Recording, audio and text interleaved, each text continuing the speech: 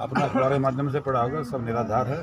और जैसे आईटी की हमारे पास मैसेज आया मैं भी मेरा बेटा दोनों सतीश सिकंदर भी विकास भी हमने पूरी बैठ के ज्वाइन किया जो क्वेश्चन कुछ उनका से सवाल दिया गया। लेकिन जहाँ तक ये अफवाह अफवाहों का बाज़ार ये हो गया ये हो गया तो, कहना चाहूँगा कहते एक सौ बीस से छापे मुझे पहले दे दे सर। एक सौ बीस कहाँ का छापे पड़े हैं। जहाँ तक भाई भाई प्रॉपर्टियाँ हैं, ये है, कारोबार है, मुझे प्रूफ दे दीजिए। प्रूफ दे नहीं पाई उनके पास कुछ मिला ही नहीं ना। एक रुपया उनके पास मिला नहीं। को हमारी पैसे प्रॉपर्टी सी मिली नहीं। जो घर है, हमारा घर है, सबके सामने सबके हमारा जो कुछ है ओपन है। विद रिकॉर्ड है और ओपन है। बिज़नेस भी ओपन है। अपना जो काम है प्रॉपर्टी है, घर है, बाहर है, सब बने ओपन है इनको करा नहीं पाए।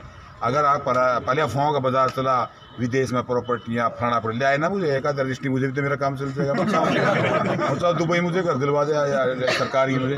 ये सरकार इसने मेरा इतना प्यार लगा भाई सरकार ने मेरे से। तो मुझे दुबई में कह रहे हैं ना अखबार में आदमी पढ़ा भी होगा। एक आधा प्रॉपर्टी दुबई में को तो मेरा काम चल जाएगा।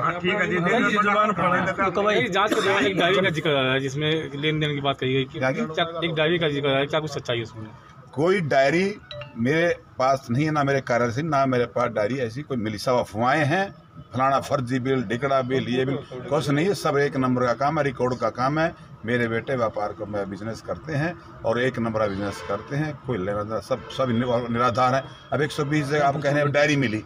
आप कह रहे डायरी मिली, आप कह रहे हैं, एक सौ बीस ना, एक सौ बीस रिपोर्ट दो ना तो वही रिपोर्ट में सर दे दो ना मुझे।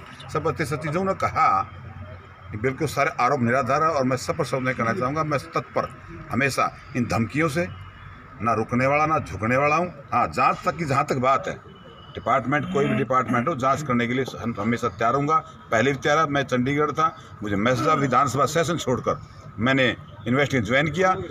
अगर सबके पास सामने, अगर कोई मामला होता, अगर कोई ऐसी प्रॉपर्टीज़ होती ऐसा कोई पैसा होता। आया एक रुपया बरामद हुआ? मेरे घर से कुछ बरा- बरामद हुआ हो को हो लेना देना कुछ हो प्रॉपर्टी बिना प्रॉपर्टी ऐसी कोई हो। हम सारा सारा सिस्टम एक नंबर का मेरे बच्चे हम व्यापार एक नंबर करते हैं। जहाँ तक मेरी राजनीति मैं तो व्यापार करते हैं बच्चे। मैं तो राजनीति करता मेरा मेरा व्यापार ये खड़ा है सामने।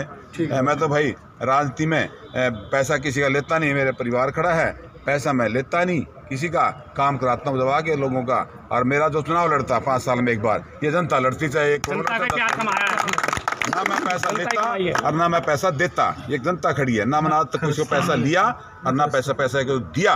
और आज थ्री टाइम आज ये जनता का प्यार है। ये बौखला गए हैं पूरे चंडीगढ़ से लेकर।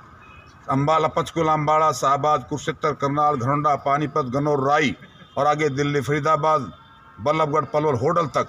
एकमात्र कांग्रेस का विधायक है धर्म सिंह छोकर इन्होंने पूरे नेशनल हाईवे पर इन्होंने इसको देखते हुए और मेरी पॉपुलरिटी को देखते हुए, मेरे जनता के प्यार को देखते हुए उभरते हुए मेरे पैगाम को देखते हुए ये सब रचना रची गई है।